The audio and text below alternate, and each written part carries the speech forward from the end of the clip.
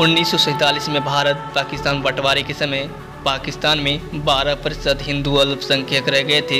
समय और हालात बदलने के साथ ही पिछले 75 वर्षों में हिंदू अल्पसंख्यकों की आबादी 12 प्रतिशत से घटकर ढाई प्रतिशत रह गई है। ऐसी परिस्थिति में अपनी किस्मत की लकीरें लिखना किसी मिसाल से कम नहीं है। ऐसी ही कारनामा कर दिखाया है पाकिस्तान की एक हिंदू महिला, मनीषा ने।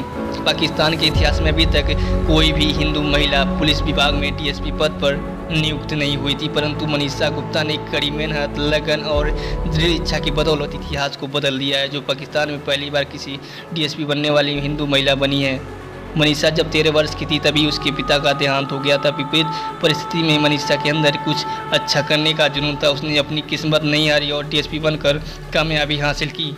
छुप कर कैसे की डीएसपी की तैयारी मनीषा के बताती हैं कि मेरे घर में लड़कियों को केवल मेडिकल करने की इजाज़त है, उन्हें अपने तरीके से पढ़ने की छूट नहीं थी, परंतु मुझे पुलिस का वर्दी पहनने का शौक़ था, इसलिए उसने बिना किसी को बताए चुपके से सिंध लोक सेवा आयोग की तैयारी की थी। मनीषा की मेहनत और जुनून की बदौलत इस परीक्षा में सोलहवीं रैंक हासिल की, जिसके कारण उन्हें डीएसपी की पद के लिए चुना गया। पाकिस्तान में आमतौर पर महिलाएँ पुलिस स्टेशन या अदालतों में नहीं जाती हैं। यदि कोई विशेष काम पड़ जाए तो उन्हें पुरुषों के साथ जाना पड़ता है।